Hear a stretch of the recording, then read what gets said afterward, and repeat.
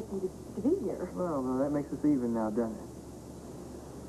How is your sister? Yeah, better than ever. You know what, Marty? Um, I think I changed my mind. I think I'll stay. Um, no. It's all right, Dylan.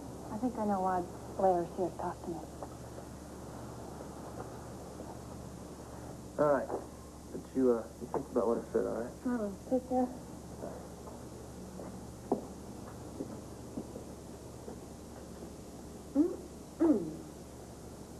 Well, he certainly makes a nice watchdog. Well, I think I can save you a lot of trouble. If you hear make more threats about Andrew and me. No, no, no. I'm here not to talk about Andrew, but to talk about you and someone else. Todd Manning.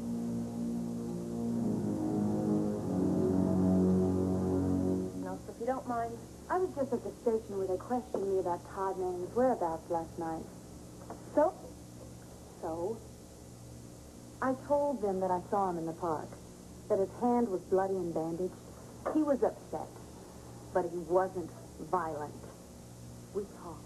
We went our separate ways, and that was about midnight last night. I can see how the police might find this fascinating, but I really don't see what... I saw Todd at the station, Marty.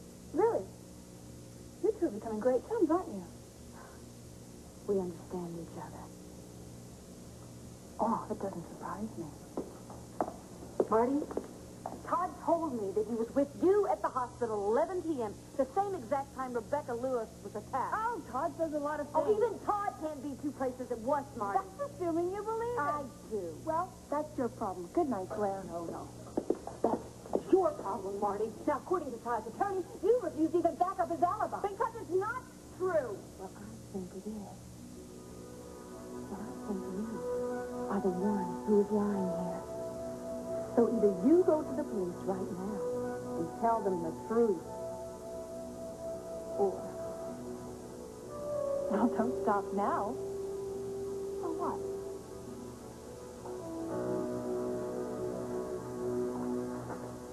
Hospital 11 p.m. last night, the same exact time Rebecca was attacked. Yeah, well, Todd says a lot of things.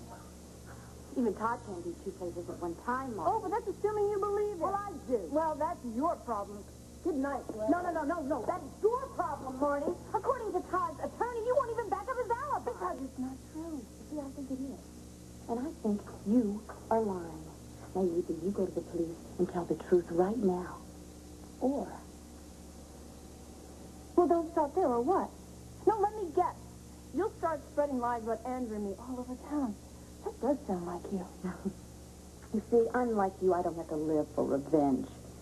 I learned the hard way what bitterness and hate can do. Come on, Marty.